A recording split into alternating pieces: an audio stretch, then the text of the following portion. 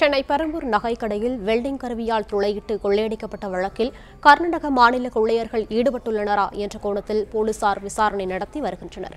இதுகுறித்த கூடுதல் விவரங்களை செய்தியாளர் கதிரவன் வழங்க கேட்கலாம். வணக்கம் கதிரவன் கூடுதல் விவரங்கள் என்ன?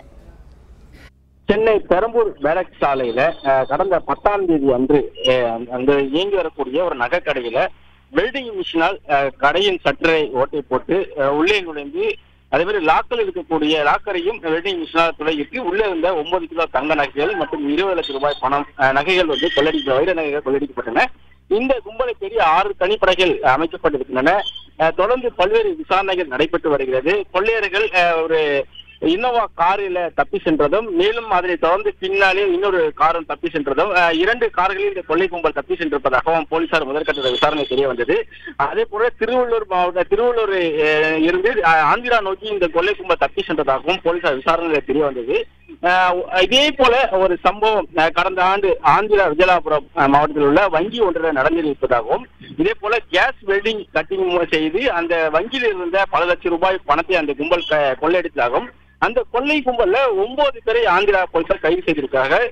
அதுல வந்து இவங்க ஒன்பது பேருமே வந்து கர்நாடகா மாநிலத்துல சேர்ந்த கொள்ளை கும்பல் என்பதனால இந்த இரண்டுக்குமே ஒரே மாதிரியான சம்பவங்கள் நடைபெற்றிருப்பதால் இந்த கொள்ளை கும்பலை சேர்ந்தவர்கள் இந்த கொள்ளை சம்பவத்தில் ஈடுபட்டிருக்கலாம் என்ற ஒரு கோணத்திலும் போலீசார் வந்து தற்போது விசாரணையை மேற்கொண்டு வருகிறார்கள்.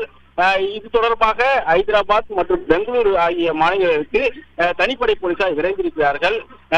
வெல்டிங் சற்று மூலமாக வெற்றி கொள்ளை கொள்ளையடிக்கப்பட்ட இந்த சம்பவத்துல ஒற்றுமை இரண்டு கொள்ளை சம்பவத்திலும் ஒரே ஒற்றுமை ஒரே மாதிரியான கொள்ளை சம்பவம் நடைபெற்றிருப்பதால் இவர்களே இந்த கொள்ளை சம்பவத்தில் ஈடுபட்டிருப்பதாகவும் தெரிய வந்திருக்கிறது. அதே போல பல்வேறு தொழில்நுட்பங்களை பயன்படுத்தி இந்த தனி அந்த குற்றவாளிகளை போலீசார் தேடி வருவதாகவும் தெரிவிக்கப்பட்டிருக்கிறது.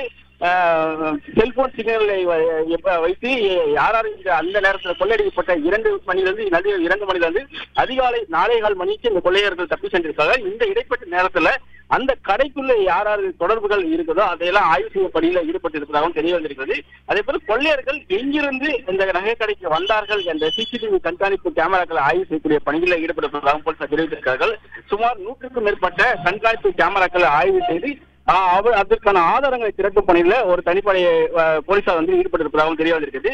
தொழில்நுட்ப ரீதியாக அவர்களை கண்காணித்து வருவதால் விரைவில் கொள்ளையர்கள் சிக்குவார்கள் என்றும் போலீசார் தெரிவித்திருக்கிறார்கள்.